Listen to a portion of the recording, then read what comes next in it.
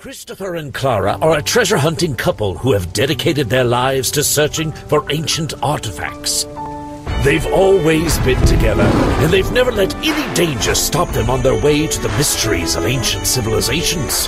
Our heroes had no idea that the most valuable treasure of their lives was waiting for them on one of their expeditions. The little puppy was all alone in the snowy wasteland. They took him in without a second thought.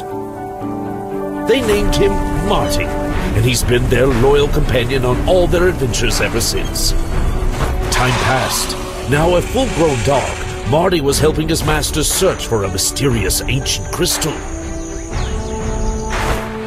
As they approached their destination, Christopher and Clara decided to venture forth, leaving Marty to guard the campsite. The loyal pooch waited patiently for his masters to return from their dangerous mission.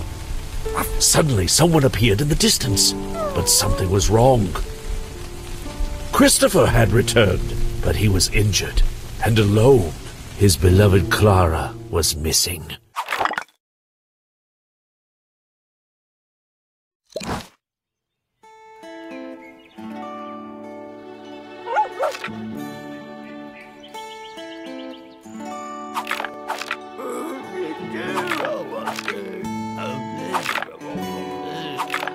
Ow.